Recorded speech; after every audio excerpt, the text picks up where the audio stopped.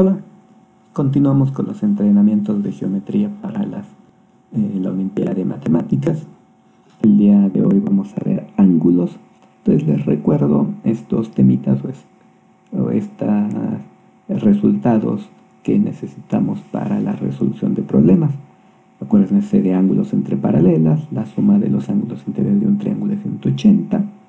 También tenemos este para la formulita para cualquier polígono, o para los ángulos de un polígono regular. Y este último hecho, el punto 5, es muy inocente, pero muy poderoso. En un triángulo isósceles, a lados iguales se oponen ángulos iguales. Entonces vamos a ver algunos ejemplos de cómo se utilizan estas técnicas para resolver problemas de Olimpiada. Pues, empezamos con este problema. Tenemos ABCD un cuadrado, E y F los puntos medios de los lados, como se muestra en la figura, y nos preguntan cuánto vale la suma de los ángulos AFE y ACE que se ven aquí en la figura marcados con azul. Entonces la idea de la solución para este problema va a ser trasladar los ángulos aprovechando las paralelas. Entonces vamos a ver este, qué ángulos son iguales con ángulos entre paralelas. Empezamos primero con el AFE que le llamo X y nos fijamos que es exactamente este de aquí arriba, el BAF, por ángulos entre paralelas, ya que EF es paralelo a AB, ya que este pues, E y F son los puntos medios. Entonces ahí está. EF es paralelo a AB y ya pude trasladar este ángulo X de F a A. También este, otras paralelas es AF con EC, si se fijan. Entonces, este ángulo Y, el ACE, el que marqué aquí con Y, también lo voy a poder trasladar o igualar al CAF. Entonces, este, estas dos este, igualdades de ángulos ya nos permiten concluir para saber la suma, la suma de X más Y este pues tiene que ser la mitad del, 90 grados del cuadrado dividido por la diagonal, ¿no? Entonces x y y abajo en sus posiciones originales no teníamos idea de cuánto valía la suma, pero una vez que ya los pusimos juntos, y es claro que suman 45 grados.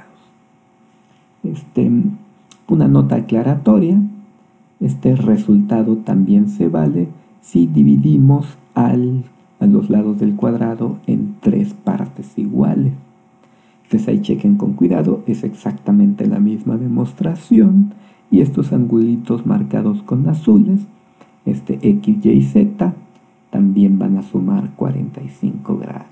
ahí convénzanse de este hecho por ángulos entre paralelas. Continuamos con otro ejemplo.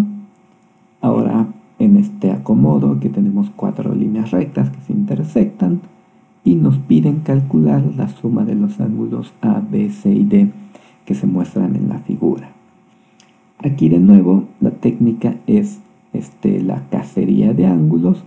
Este, vamos a usar el hecho de que em, este, pues, esto le voy, pues voy trasladando ángulos a ver qué encuentro.